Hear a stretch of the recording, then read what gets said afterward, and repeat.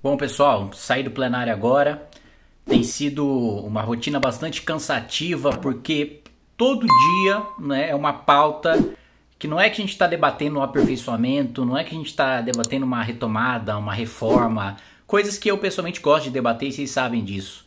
É, é todo dia é essa primeiro assim votação de, de de assalto, assim, que você não sabe o que, vai ser votado, você não sabe que texto vai ser votado, você precisa pegar na hora, no meio da votação, o que vai ser votado, né? E saber o que, que tem de jabuti, o que não tem, o que já tem acordo, o que não tem acordo, no meio da votação.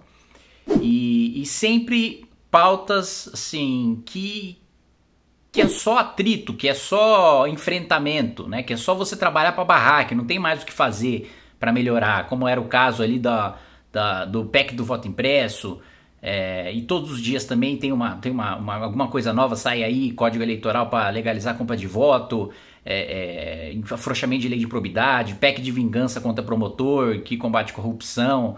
Agora aí eu vou o distritão, aí faz um acordo para voltar com a ligação, que também é ruim. Enfim, é, é uma batalha cansativa, mas que a gente precisa fazer, que a gente precisa travar, porque se o nosso país está na marcha ré, que pelo menos a gente diminua a velocidade.